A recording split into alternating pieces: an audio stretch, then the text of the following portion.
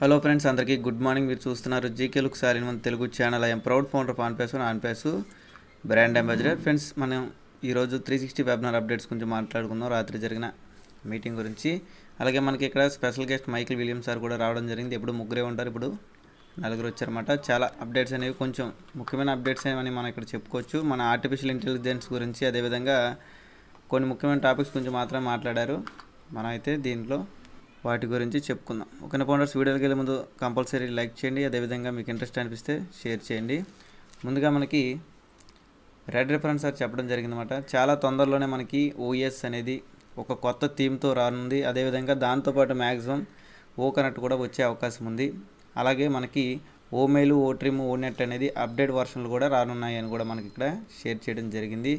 దాని తర్వాత మన క్రిస్ జాన్సన్ సార్ చెప్తూ ఏఐ గురించి మొత్తం చెప్పారన్నమాట. ఆర్టి ఆర్టిఫిషియల్ ఇంటెలిజెన్స్ అనేది ఎలా ఉండబోతుంది ప్రజెంట్ ఎలా ఉంది అనేది మనకి ఇక్కడ చెప్పడం జరిగిందన్నమాట. ముందుగా ఇప్పుడున్న కంపెనీలు మ్యాక్సిమం వారు చేసే డిజిటల్ ప్రొడక్ట్స్లో మినిమం ఫార్టీ ఫోర్ పర్సెంట్ కంపెనీలు అయితే ఆర్టిఫిషియల్ ఇంటెలిజెన్స్ని వాటి ప్రొడక్ట్స్లోకి తేవడానికి అయితే ప్రయత్నిస్తున్నాయి.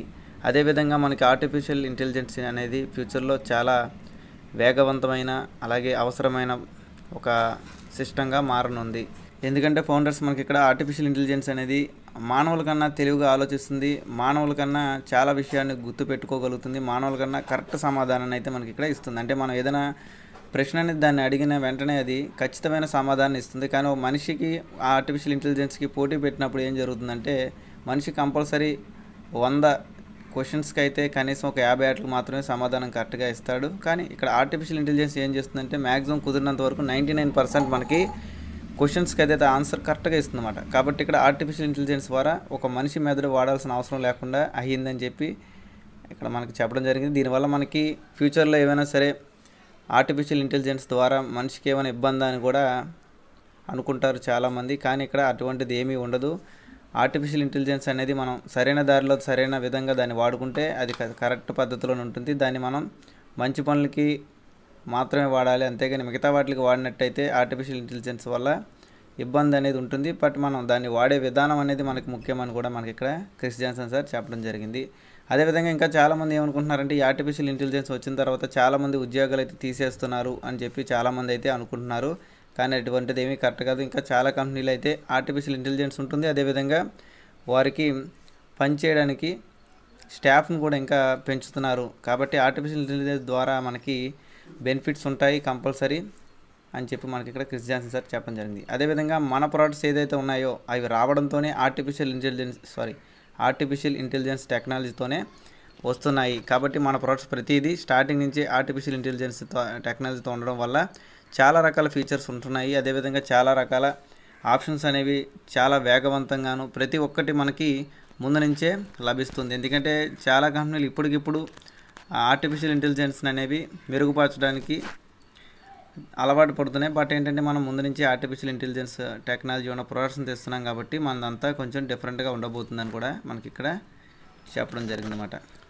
అలాగే మనకి రెఫరల్ లింక్స్ అనేవి వచ్చిన తర్వాత మనం ప్రతి ఒక్కరికి షేర్ చేస్తాం. దాని ద్వారా మనకి కస్టమర్స్ అయితే వస్తారు.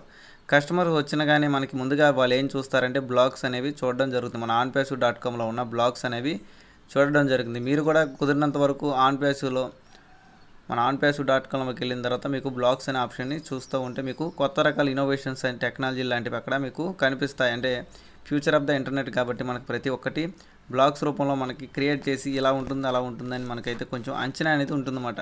కాబట్టి మనతో పాటు కస్టమర్స్ వచ్చేవాళ్ళు ప్రతి ఒక్కరూ మనకి బ్లాగ్స్ అనేది చూస్తారు. దాంతోపాటు మన ఓఈఎస్లో ఉన్న సిస్టాన్ని కూడా వాళ్ళు చూస్తారు. దాని ద్వారా దానివల్ల మనకి చాలా రకాల బెనిఫిట్స్ ఉంటుంది. అదే వాళ్ళ దానితోనే వాళ్ళు ఇంకా మన ఆన్ పేస్ అంటే ఏంటి? మన ఆన్ పేస్లో ఏ ప్రోడక్ట్స్ ఉన్నాయి? మన ఆన్ పేస్లో ఏఐ సిస్టమ్ అనేది ఎలా ఉందనేది ప్రతి ఒక్కటి నేర్చుకుంటారని కూడా మనకి ఇక్కడ షేర్ చేయడం జరిగింది. దాని తర్వాత మనకి మైకిల్ విలియమ్స్ సార్ అయితే తీసుకోవడం జరిగింది ప్యానల్ అనేది. ఆయన ఏం చెప్పారంటే ఆన్ పేస్ అనేది ఒక మనిషికి ఒక ఫౌండర్కి ప్రతి ఒక్కరికి చాలా వాల్యూ అనేది క్రియేట్ చేయబోతుంది. ఎందుకంటే మన ఆన్ పేసు కంపెనీ అనేది హ్యుమానిటీతో ఉన్న కంపెనీ. అదేవిధంగా మన పే స్ట్రక్చర్ కానీ మనం ఇచ్చే బెనిఫిట్స్ కానీ చాలా డిఫరెంట్గా ఉంటాయి.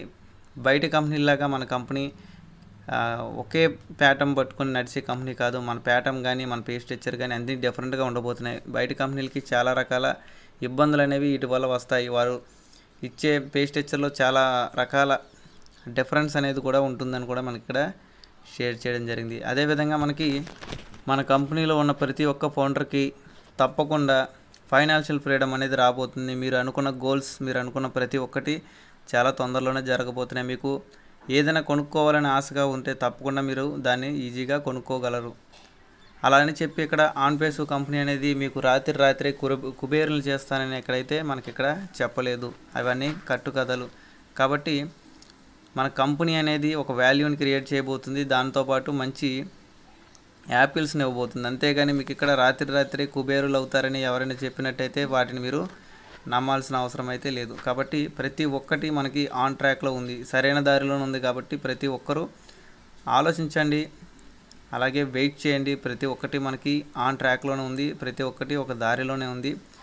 అన్నీ రానున్నాయి మనకి ఫ్యూచర్లో మనం మంచి బెనిఫిట్స్ని పొందబోతున్నామని కూడా మనకి ఇక్కడ మైకిల్ విలియమ్స్ సార్ చెప్పడం జరిగింది. అదేవిధంగా మనం చేసే డిఫరెంట్ మార్కెటింగ్ వల్ల చాలా రకాల ట్రాఫిక్ అనేది మనకు వస్తుంది. ఎందుకంటే చాలామంది కంపెనీలు ట్రాఫిక్ తెచ్చుకోవడానికి చాలా ఇబ్బందులు అయితే పడతాయి. బట్ మనం ఏంటంటే మన కంపెనీ ఎప్పటి నుంచో మనకి ట్రాఫిక్ తేడానికి అనేక రకాల మార్గాలు అనేది చేసింది. మార్కెటింగ్ కానీ స్ట్రాటజీ కానీ అన్నీ చాలా రకాలుగా ఉన్నాయి బట్ కాబట్టి మనకి మంచి బెనిఫిట్స్ అనేది ఫ్యూచర్లో ఉండబోతుంది. ఇప్పటికే మన దగ్గర చాలా ట్రాఫిక్ అనేది ఉంది. మనం ఒకసారి మనం ఓకనెట్ లాంచ్ అయిన తర్వాత మనకి మంచి ట్రాఫిక్ అనేది ఉండబోతుంది. అలాగే మన ప్రోడక్ట్స్ ప్రతి ఒక్కరూ వాడబోతున్నారు. ఆన్ పేస్ అంటే ఏంటి అనేది ప్రపంచానికి ఫ్యూచర్లో తెలియబోతుంది. ప్రతి ఒక్కటి మనం నేర్చుకుంటున్నాము. తెలుసుకుంటున్నాము. అదేవిధంగా మనం నెక్స్ట్ మూవ్ అనేది మనం ముందుకు వేయబోతున్నాం అని చెప్పి మనకి ఇక్కడ చెప్పడం జరిగింది అనమాట ఓకేనా ఫౌండర్స్? మాకు కొంచెం ఇంపార్టెంట్ అనిపించినవి మాత్రం నేను ఇక్కడ చెప్పడం జరిగింది. ఇంకేమైనా మిస్ అయ్యి ఉంటే మ్యాక్సిమం నెక్స్ట్ అప్డేట్లో కొంచెం కవర్ చేస్తాను. మ్యాక్సిమం ఇంతే ఉంది. మనకైతే ఇంకా యాజ్ సార్ వెబినార్ డీటెయిల్స్ కానీ లేదంటే ఇంకేదైనా డీటెయిల్స్ కానీ అయితే ప్రజెంట్ ఏమీ తెలియలేదు.